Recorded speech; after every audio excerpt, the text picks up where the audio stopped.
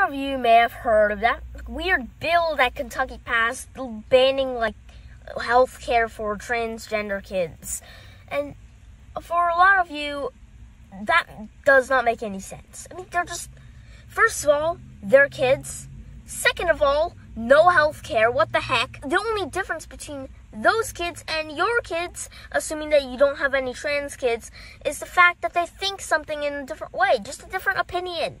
But then there's another group that's possibly watching this who don't think that trans kids should be allowed to get anything. And seriously, I don't understand this. Now, you're probably very conservative. That that's what I can see.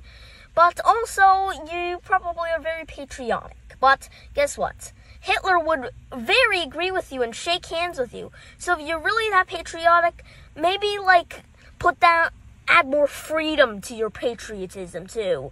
Because, you know, Hitler, he hates Jews, he hates transgender, he hates uh, black folk, he hates Asians, he hates everybody who's not white or Aryan, whatever.